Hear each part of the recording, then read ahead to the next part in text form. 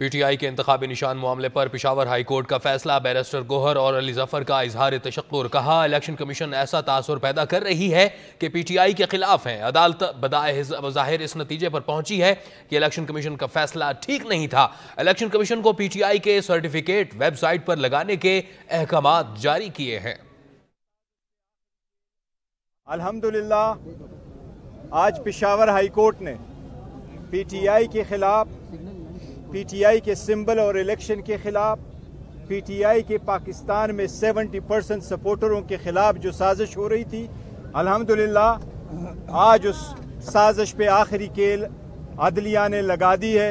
वो साजिशें ख़त्म हो गई। लिहाजा वो ऑर्डर सस्पेंड हो गया और हमारा बेट रिस्टोर हो गया और इलेक्शन कमीशन को ऑर्डर हुआ कि हमारा सर्टिफिकेट फ़ौरन वेबसाइट पे आप चढ़ा दें। बदकिस्मती से मैं इलेक्शन कमीशन ऑफ़ पाकिस्तान के खिलाफ बात नहीं करना चाहता क्योंकि मैं जैसा मैंने कहा इंस्टीट्यूशन के खिलाफ बात नहीं करता। लेकिन इस केस में इलेक्शन कमीशन ऑफ़ पाकिस्तान का जो फैसला है लगता है जिस तरह के वो मुखालिफ हैं। तो ये तासर नहीं मिलना चाहिए। उनको इंडिपेंडेंट ही रहना चाहिए आज़ाद ही रहना चाहिए।